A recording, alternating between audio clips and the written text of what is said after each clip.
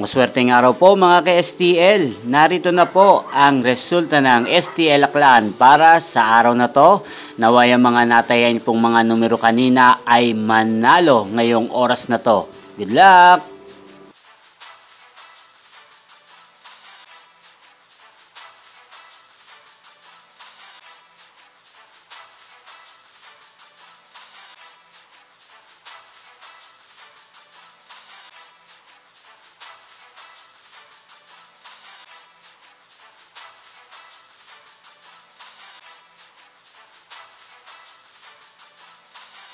Congrats po sa lahat ng mga nanalo. Maraming maraming salamat po sa patuloy niyong panonood sa aking channel. Huwag pong kalimutang mag-subscribe. Thank you for watching.